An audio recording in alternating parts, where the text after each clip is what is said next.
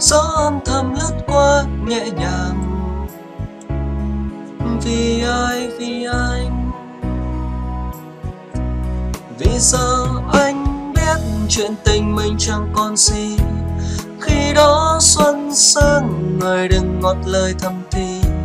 Em bước sang ngang, đợi chờ điều gì diệu kỳ. Như lúc ban đầu. Và giờ anh khóc thì cũng chẳng để làm gì. Đâu phải cho anh chuyện tình mình mà là vì em đã trao ai dòng lệ tràn đầy cầu kỳ. Những năm tháng phai màu.